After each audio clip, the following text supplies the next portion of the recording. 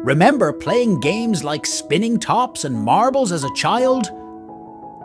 These games were more than just fun.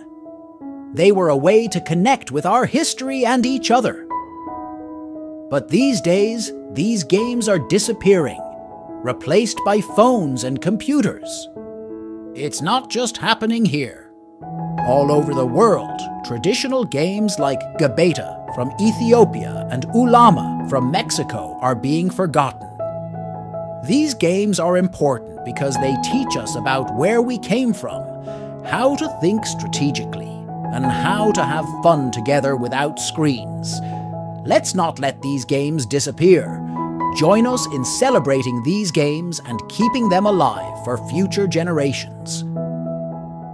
The modern Pythian Games is working hard to bring back these forgotten pastimes.